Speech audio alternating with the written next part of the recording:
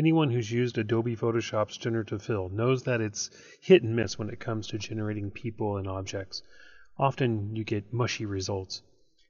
Well, I want to show you real quickly how to take those mushy results and turn them into something very useful.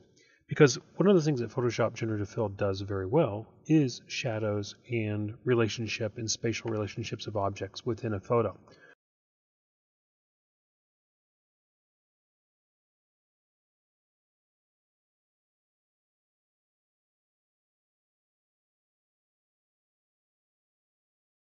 For example, I'm going to draw a rectangle here and type a prompt into the generative fill dialog, attractive woman standing or leaning against a bed, and then generate the image.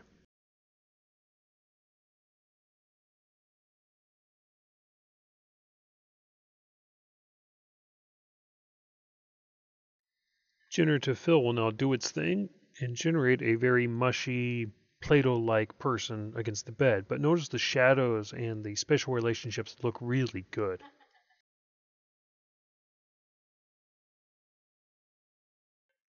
So now I'm going to tap the power of Stable Diffusion, which I have running on my laptop here, and I'm going to open up the Auto Stable Diffusion plugin window, type in my prompt, which will probably be the same prompt I used before, and uh, I've already created a selection around the area that I want to re-render.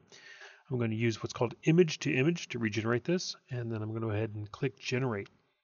It's going to go ahead and use the uh, Juggernaut XL checkpoint to recreate this person here in this image. And then all I have to do now is just mask this person in.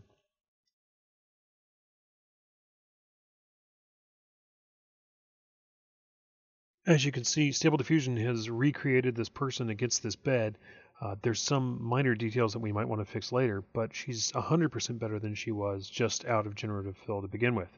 However, notice that the shadows are really well done, and she really looks like she's leaning against the bed. I'll just mess with the selection here to get the uh, shadows back into the image, and I'm going to go ahead and mask her in, and you can see she looks really good. So this is how you can use Stable Diffusion to regenerate uh, the results you get from generative fill.